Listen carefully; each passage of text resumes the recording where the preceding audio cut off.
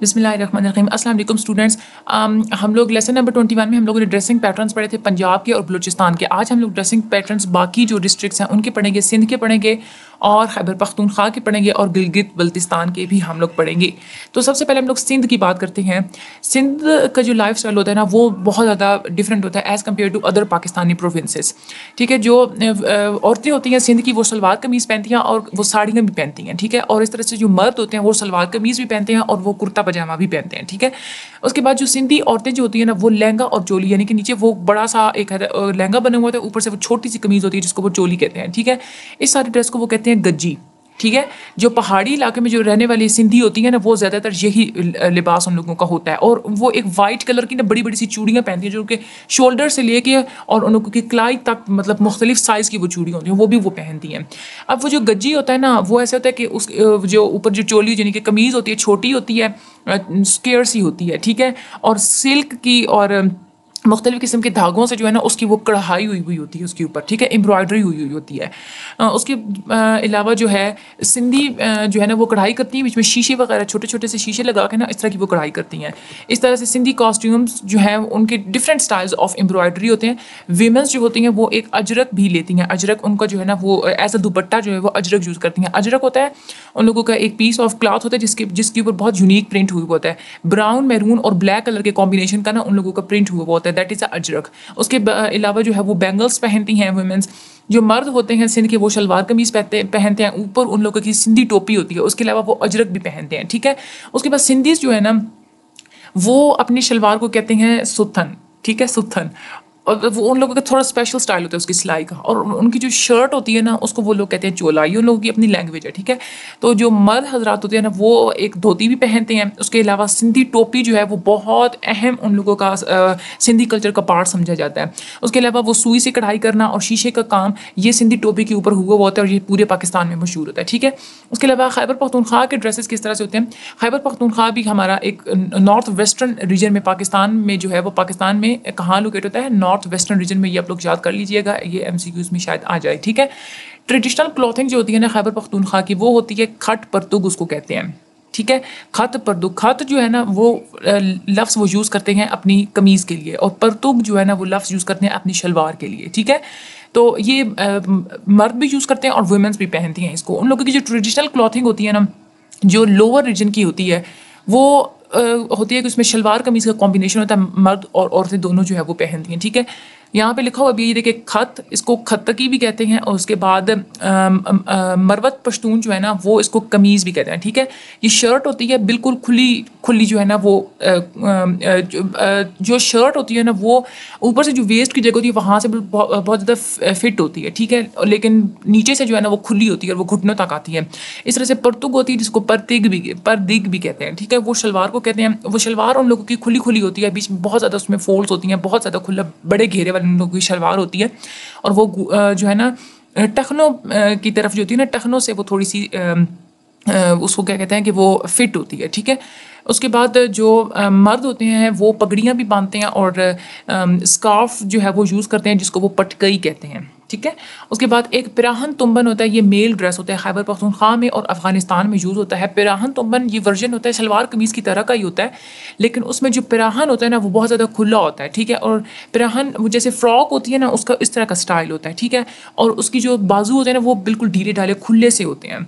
ठीक है? खुले बाजू होते हैं, लेकिन क्लाई वाली जो जगह होती है ना, जहाँ से वो बाजू फिट होते हैं। पीछे से खुले होते हैं, क्लाई वाली जगह से वो इलास्टिक डाल के या वो इस तरह की कुछ चिंटे डाल के ना, उसको उन्होंने फिट किया हुआ होता है। इसके अलावा वो जो पिराहन, उनका जो खैबर पख्तूनख्वा में वो जो ऊपर पिराहन होता है यानी कि फ्रॉक की तरह की उन लोगों का जो ऊपर टॉप होता है मतलब शर्ट होती है, वो उन लोगों के घुटने तक आती है। तो ट्रेडिशनल जो होते हैं, उनके जो पिराहन होते हैं, उनके पिराहन जिसको कहते हैं, उनके शोल्डर पर भी बटर लगे हुए होते हैं। और वो जो पिराहन होते हैं वो आ, उसका कॉलर नहीं होता और वो जो है ना वो खुला होता है ठीक है?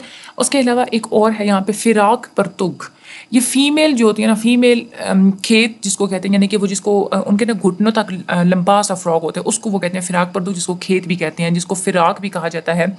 तो इस सारे आउटफिट को जो है आउटफिट की जो है वो फिराक परतुक बोलते हैं। फीमेल खेत इसकी दो टाइप्स होती हैं। एक होता है जलाना खेत। खेत उसी को कहते हैं, यानी लंबा फ्राक जो उनका होता है ना, उसको हम लोग खेत बोलते हैं वो लोग पश्तों में। जलाना खेत होता है और एक होता है गिद्दाना खेत। ठीक है, जलाना खेत जो होता है ना, वो लड़कियाँ, जो यंग लड़कियाँ होती हैं ना, जिनकी शादी नहीं, जो कवारी लड़कियाँ होती हैं, वो यूज़ करती हैं और वो खुला खुला सा होता है, वो जलाना खेत जो होता है। ठीक है? और उसके ऊपर प्रिंट हुआ होता है। उस पर लेकिन जो दूसरा जो गिरदाना खेत होता है ना, वो शादीशुदा औरतें पहनती हैं और वो डार्क कलर में होता है स्पेशली वो रेड कलर्स का होता है। ठीक है? उसके अलावा ये जो फीमेल्स के जो लंबे फ्रॉक होते हैं, ये जो खेत होते हैं, इसमें बहुत सारी प्लेट्स होती हैं। ठीक है? और अफ़गानिस्तान में भी जो है ना, वो ये ड्रेसिंग यूज़ की जाती है। ये एक टाइप होती है शलवार कमीज़ की ट्रेडिशनली वो अफ़गानिस्तान में पहनते हैं और मोस्टली जो है पश्तून जो है वो भी इसको जो है ना, वो पहनते हैं, ये इस फिराक परतू की जो बात हो रही है। उसके अलावा एक जो, ये जो एक होता है ना कि जो वो वाला छोटी मतलब एक फ्रॉक होती है ना वो मर्द भी कभी कभार वो पहनते हैं। मेल पश्तून जो है वो खत परतुक ठीक है, वो पहनते हैं और एक ऊपर उन लोगों की एक तुरबन होती है, उसके बाद जो मर्द होते हैं, वो एक कूफ़ी टोपी के पहनते हैं, या फिर उन लोगों की अपनी एक पिशावरी कैप होती है, जो साइडों से ना मोटे मोटे वो जैसे फोल्ड हुए होते हैं ना, इस तरह से। उसके अलावा एक उन लोगों की अपनी एक तुरबन सिंधी टोपी होती है, वो भी पहनते हैं उसके बाद एक पाकूल जो होता है, वो भी यूज़ करते हैं अपने सर पे पहनने के लिए।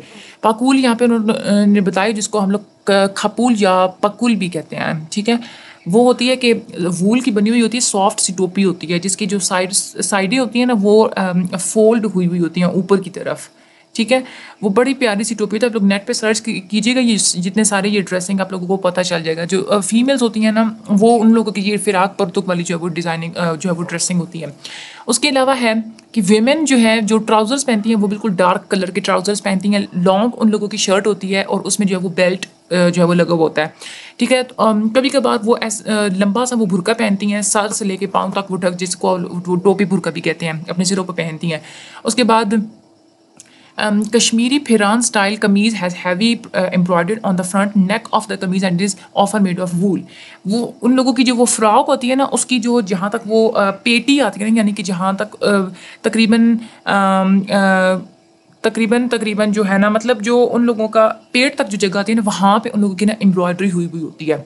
वो, और वो वूल से वो जगह बनी हुई होती है तो उस पर वो एम्ब्रॉयडरी करके जो है ना, वो यूज़ करती हैं तो वो एक, उन लोगों का एक, जैसे कश्मीरी लड़कियों के होते हैं ना, कपड़ों का स्टाइल होता है, इस तरह से। उसके बाद आगे गिलगित बल्तिस्तान है गिलगित बल्तिस्तान का जो कल्चर है, वो तिब्बतन पीपल, यानी कि तिब्बत के रहने वाले जो लोग हैं, वो असल में उन लोगों का जो कल्चर है, वो गिलगित बल्तिस्तान में आता है।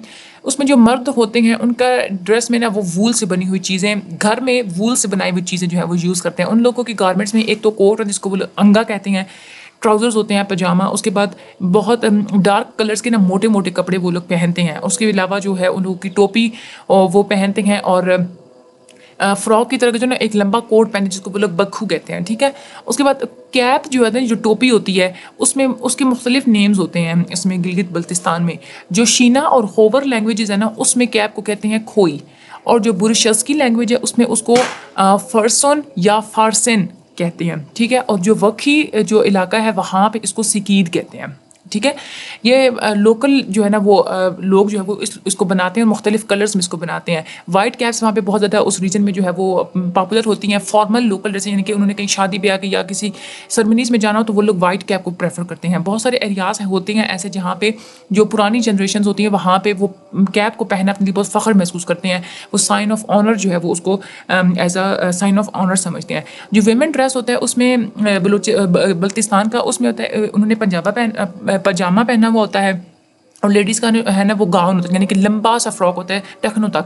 और उसकी जो और उस गाउन के नीचे जो है ना, उन्होंने एक पंजाबी कुर्ता भी पहना हुआ होता है कमीज़ लाइक पंजाबी कुर्ता होता है, वो पहले वो नीचे पहनती हैं, ऊपर जो है फिर वो गाउन पहनती हैं। और जहाँ पे उन लोगों की कमर होती है ना, कमर की साइड पर वो ना वेस्ट पे एक स्पेशल किस्म किस्म का एक उन्होंने ना बेल्ट जो है वो बनाया हुआ होता है एम्ब्रॉयडरी उसके ऊपर की हुई होती है, वो बाँध देती हैं। ठीक है? और उन लोगों की जो गाउन होती है, उसकी जो मार्जिन होती है, जो किनारे होते हैं, उसके ऊपर उन्होंने एम्ब्रॉयडरी की हुई होती है। सर के ऊपर उन्होंने एक उन लोगों का हेड गियर होता है, जो कि आधा गज के बराबर होता है, वो सर के ऊपर वो रखती हैं और पीछे उनकी कमर तक वो जाता है, ठीक है? ये उन लोगों का बहुत पॉपुलर ट्रेडिशन है। जो सर्दियों में क्या होता है कि जो लेडीज़ होती हैं, वो वूल की बनी हुई मोटी मोटी गर्म शॉल्स भी यूज़ करती है, जिसको चादर्स कहते हैं। उसके अलावा ट्रेडिशनल कमीज़ जो होती है, वो उन लोगों की बहुत जो होती है ना औरतों की कमीज़ खुली होती है और उसके अलावा वो घुटनों तक टखनों तक लंबी होती है और जो कमीज़ का कॉलर होता है वो बहुत बड़ा होता है हाई होता है, ठीक है? जो दुल्हना के लिए, जो ब्राइड्स के लिए जो वो ड्रेसेस बनाते हैं ना, वो बहुत कलरफुल किस्म की उसके ऊपर वो एम्ब्रॉयडरी करके और एक बैंड्स कलरफुल ना एम्ब्रॉयडरी मतलब उस कढ़ाई करके बैंड्स बनाते हैं, वो कॉलर्स के इर्द गिर्द लगा देते हैं। और जो नीचे वाला जो एरिया होता है ना, उन लोगों की शर्ट का और स्लीव्स का, वहाँ पे भी वो एम्ब्रॉयडरी करते हैं। उसके पहले दुबट्टा और दुबट्टा और शॉल जो है, वो बहुत ज़्यादा उन लोगों का इंटेग्रल पार्ट होता है लेडीज़ ड्रेस का।